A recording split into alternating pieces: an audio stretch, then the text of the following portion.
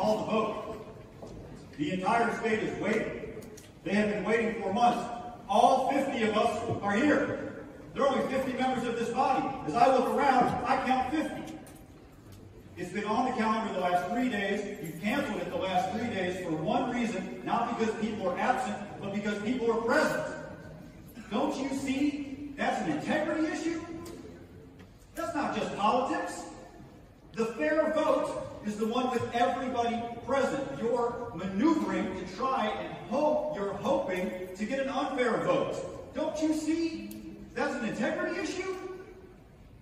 Have you been here so long that you're blind to the basics? Do the right thing. We're all here. Call the vote. You don't have any excuse. You're playing games and you're hoping no one's going to see. We all see. It's been months. Call the vote. Call the vote. Further notices or announcements? Senator Tillman, for what purpose you rise? Moment personal privilege. You have the floor. I might expect some criticism about calling the vote from many people. You'd be the last to advise me on that or our chamber. I don't believe we need your advice on when to call the vote.